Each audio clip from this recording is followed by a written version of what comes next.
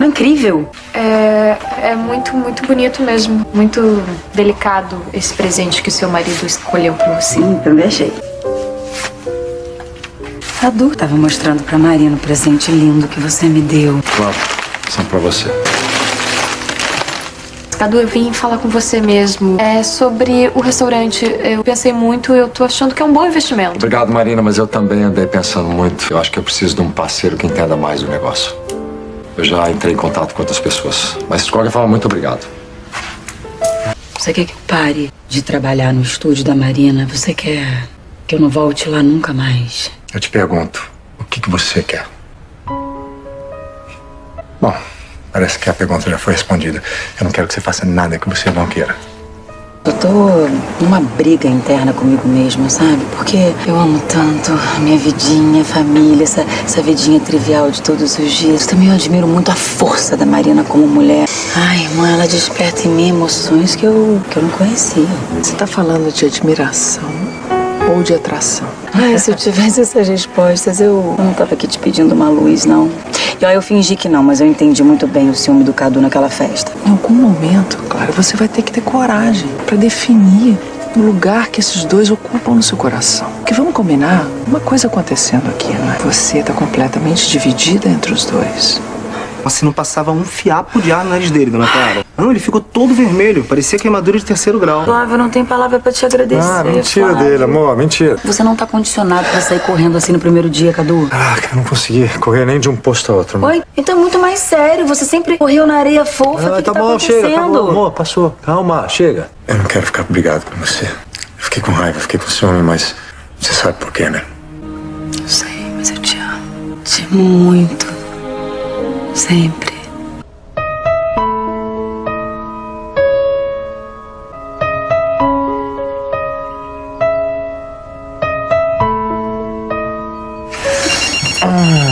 Fez seu dever de casa já? Já. Tem cosquinha? Mais um dia triste, me pego outra vez pensando em você. Resolve o que você tem que resolver e quando der, aparece aqui. Não vem trabalhar hoje. Vem trabalhar sim, só vai atrasar um pouco porque tem que ajudar o filho com uma lição da escola. E você vai continuar investindo o seu tempo, os seus suspiros e o seu desejo na gata borralheira. Para a pessoa com quem eu gostaria muito de dividir a vida, mas não dá. Não conhece, não tem talento pra ficar sofrendo, não posso ficar nesse compasso da espera. Refém de um amor platônico, não tem nada a ver comigo isso. Cansei. Marina, desculpa, muito atrasada. O, o Ivan, tadinho, ele tá com uma dificuldade em ciência. Eu falei, que cara é essa? Nada. Aconteceu alguma coisa? Certo. Já sei. Tá chateada comigo porque eu cheguei atrasada, né? Pode falar. Não, Clara, senta, por favor. Eu preciso te falar da admiração que eu tenho por você. Você sabe que desde a primeira vez que eu te vi, eu fiquei fascinada. Justamente porque você é assim, você é tão leve, tão doce, tão sincera. A gente é diferente. Mas eu quero que você saiba que foram justamente por essas diferenças que eu me senti atraída por você. Mas eu também. Eu também gostei assim de você de primeira, desde a primeira vez que eu te vi. Clara, a gente não é criança. Tudo que a gente não falou verbalmente, a gente disse nesse tempo todo, com gesto, com olhar, com emoção. Você sabe do que eu tô falando. Eu não sei, eu não sei bem. É, Eu não sei como, eu não sei como lidar com isso, entendeu? Eu não sei como lidar com isso, Marina. Você, você entende? Exatamente por isso que eu tô falando por nós duas. Não consigo mais conviver com, com a presença da ausência do seu amor. Você tá falando de amor? Claro que eu tô falando de amor. Olha, por uma questão de sobrevivência, é melhor pra, pra gente se afastar. Eu acho que você até tem que continuar trabalhando aqui, porque eu realmente acredito no seu potencial. Tô te demitindo no meu coração.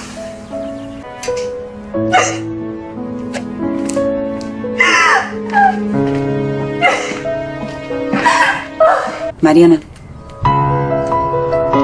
tome coragem. Agora quem vai me ouvir é você. Eu pensei sobre tudo que você me falou, sobre a nossa situação. Suas palavras não saíram da minha cabeça até agora, Marina. Suas palavras estão tão martelando na minha cabeça, estão tão martelando no meu coração. Quero esquecer as lembranças ruins, entende? Mas eu preciso te falar da coisa que mais me marcou. E eu não tô aqui fechando uma porta entre a gente. Só tô encostando. Mas você disse pra mim que, por uma questão de sobrevivência sua, você tava me demitindo do seu coração. Não disse? É só uma frase. É, uma frase que, uma frase que faz muito sentido, sabe? Aí eu fiquei pensando, falei, pô, eu não tenho o direito de ficar insistindo com a minha presença aqui. Aí por isso eu vim aqui, porque eu quero te dizer que eu, eu me demito. Continuar vindo aqui, eu, eu não venho mais aqui. Mariana, a gente precisa se afastar por um tempo, entendeu? Não, eu não vou aguentar. Eu não vou aguentar. A gente precisa tentar. Sabe o que eu tava pensando, Vã? Que o amor é a maior das tragédias. Bad trip. Credo, afasta esses pensamentos, pense em coisa boa. O problema é que quando eu fecho os olhos, vem sempre o mesmo sorriso. Então não fecha! Deixa esse. Marina! Marina! Marina! Como, como caiu? Explica direito. A gente já foi pro hospital e voltamos pra casa. Torceu o pé, mas podia ter sido bem pior. Cara, que perigo. Esse tombo na escada podia ser fatal, né? Clara, eu tô, eu tô- eu tô te ligando porque a Marina não para de chamar por você o tempo todo. Às vezes acordada, outras vezes meio delirando, assim. Tá meio inquieta, meio triste. Triste desde cedo. Dá um pulo aqui quando puder. Vai fazer muito bem pra Marina. Prometo, mãe, assim que eu levantar eu vou. Mas olha, vai me dando notícias, vai. Pode, pode me ligar a qualquer hora. Nem acredito que você veio. Nem aguentar esperar até amanhã. Roubei do seu jardim. Porque eu consegui agora. Que linda. Você tá melhor? O médico falou que não é nada demais, é uma torção e que daqui a pouco eu vou tirar esse troço do pé. Ainda bem que foi o pé. Ai, Deus me livre. Mas relaxa, você vai ver, vai passar logo. É, espero. Vem cá, não vou poder demorar muito tempo aqui. Me fala o que eu posso fazer pra te ajudar. Você já faz muito, Clara. Você existe. Você já ligou pra Clara, Flavinha? Ainda não. Quer que eu ligue? Não. Não, deixa. Se ela não aparecer até o final do dia, eu penso no que fazer. Eu quero que ela volte a trabalhar aqui. Daqui a pouco ela aparece. Notei que você não tem ido lá no estúdio da Marina. Aconteceu alguma coisa? Nada. Marina foi fazer umas fotos fora do Rio e não tá precisando de mim esses dias lá, só isso. Ah, amor. Amor, vem cá, vem cá, vem cá. Dá uma olhada aqui nessa planta comigo. Olha só. Ju, me responde uma coisa. Alguma mulher alguma vez já, já te cantou? Eu quis ter uma relação. Uma relação com você já deu em cima de você. Já. Jura? Por quê? Tem alguma atrás de você? É complicado. A gente tem atração uma pela outra, sabe? E você nessa história? É uma luta pra mim, né? Porque se fosse um, um homem, eu sei lá, acho que até podia pagar pra ver, podia fazer desse homem meu amante. Não sei, um monte de mulher faz isso por aí, né? Mas como eu posso ser casada com um homem e ter uma amante mulher? Também acho, sei lá, que eu só entraria numa aventura dessas se eu não amasse o meu marido como eu amo, ou se eu amasse essa mulher mais do que eu amo meu marido. Ai, não sei. Não sei. Clara, quem é que liga tanto pra você e você não atende? Ela. Ai, caramba, que agonia isso, ficar sem notícias, a Clara. Quer saber? Vou acabar com essa ansiedade agora. Clara. Não dá pra evitar. Saudade. Não atendeu as minhas ligações, não retornou. Desculpa, eu me enrolei. Clara, você não quis atender as minhas ligações, né? Também não sentiu vontade de ligar. Senti, juro. Mas eu achei que eu não devia. A gente combinou de dar um tempo. Sofreu? Também. Eu tô te amando, Clara. Ó, tá todo mundo te... Sabia que você tava aqui? Ah, eu, eu acabei entrando junto com a Clara. Vamos lá com a gente. Tá rolando um vinhozinho.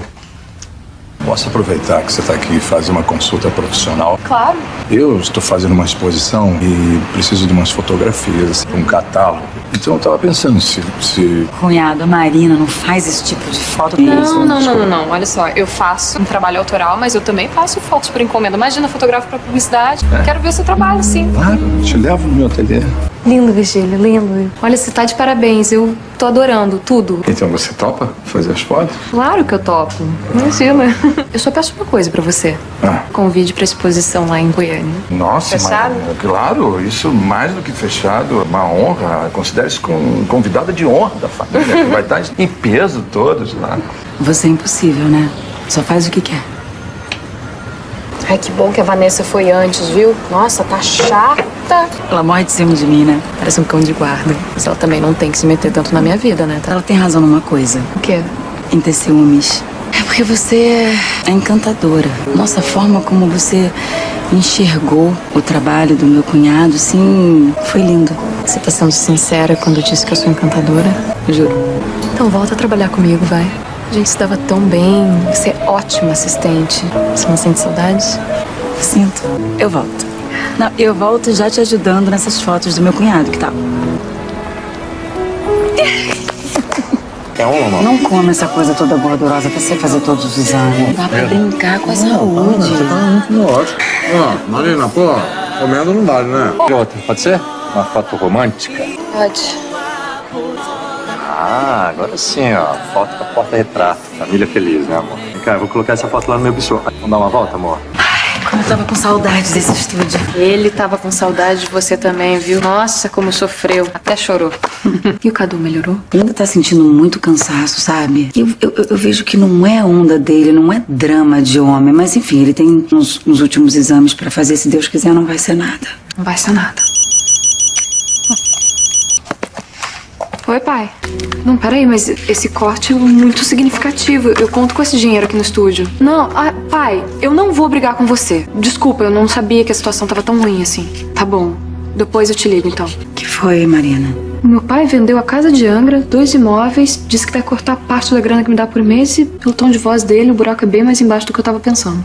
Finalmente, O Murilo me respondeu. E a tua namorada, ele fala alguma coisa? Não me pareceu preocupado com isso, não. Gente, perdi o bonde. O que, que é? Você tá querendo sair com um cara comprometido? É isso? Vai virar tipo amante? Nossa, que forte. Tô falando que se você pretende sair com um cara comprometido, você pode se machucar, você pode sofrer, entendeu? Mas alguém é livre do sofrimento, Clarinha? Ai, gente, eu acho que pessoa comprometida ou não, não adianta. Qualquer um pode se apaixonar a qualquer momento, e quando menos se espera. Eu acho inevitável. Ai, será que não dá pra evitar uma paixão no meio do caminho, assim? Você acha que isso é possível mesmo? Não. O inesperado acontece.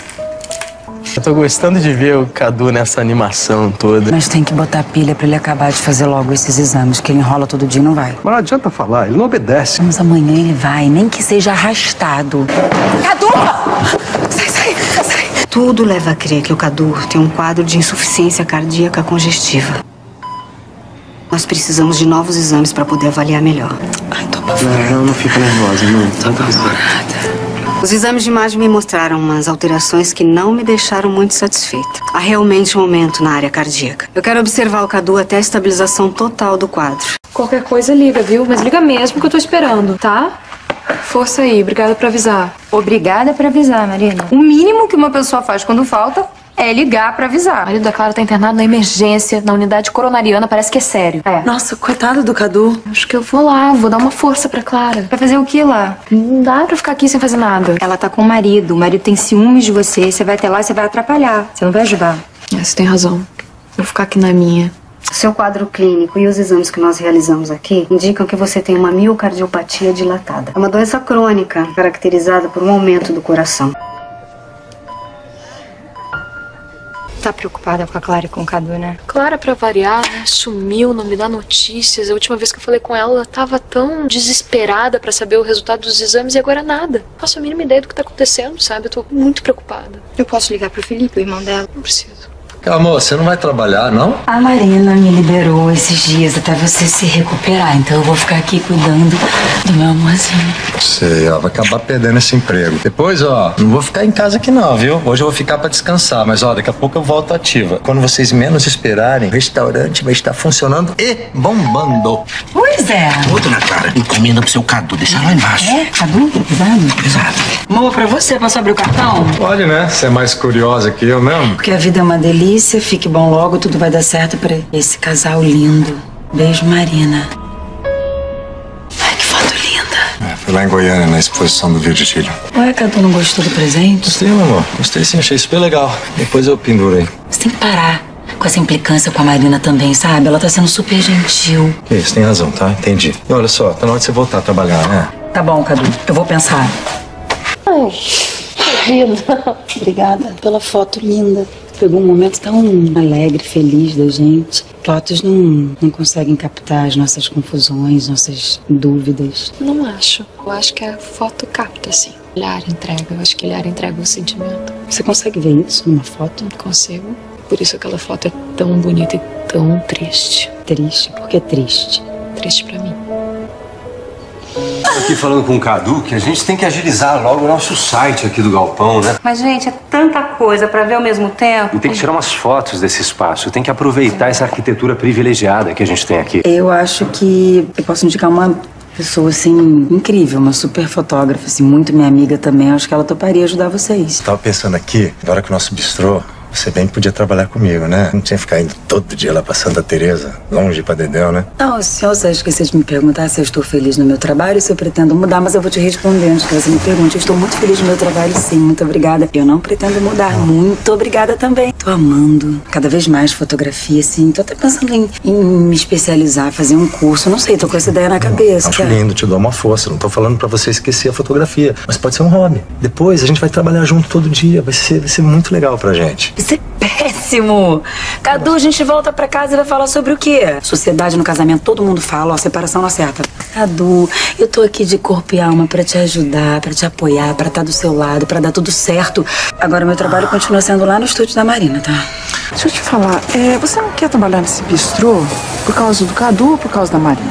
Não penso mais na Marina. Cara, você tem que parar de pensar nas suas dúvidas. Se ela é tão fofa assim, então negocie um horário melhor de trabalho. Faz uma jornada dupla, se for preciso. Mas não deixa o Cadu se sentir preterido. Nunca vou fazer isso. Então seja firme com você mesma. Para de pensar nos seus problemas. E começa a pensar no jeito de ajudar ao seu marido se sentir bem e feliz.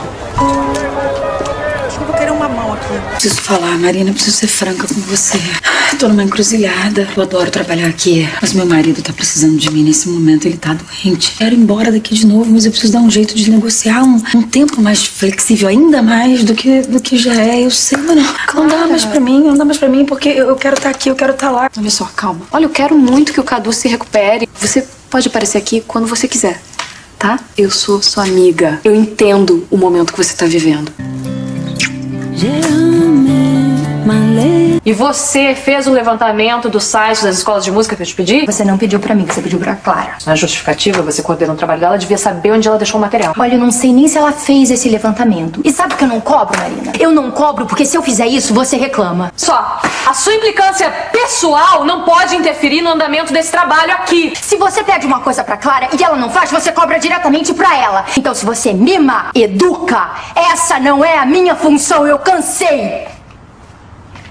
Ah, esse computador aí terminar uma pesquisa que a Marina pediu, você me presta um minutinho. Eu queria falar com você exatamente sobre isso. Qual o problema? O problema é que ontem a Marina me chamou a atenção por um trabalho que você não fez. Olha aqui, eu combinei com a Marina um horário mais flexível, você me desculpa. É difícil, né? Tá muito difícil. Olha, pra mim também tá difícil pra caramba. Tá difícil pra você, pra mim, pra Marina. Agora, isso aí você resolve com ela, tá? Sua patroa, seu rolo, seja lá o que for. Ok. Isso é jeito de falar com as pessoas, Vanessa? Eu e a Clara, a gente tem uma combinação. Pra mim deu. Olha, pode não parecer, mas eu percebo tudo que tá acontecendo. E eu quero ficar bem com você. Olha pra mim.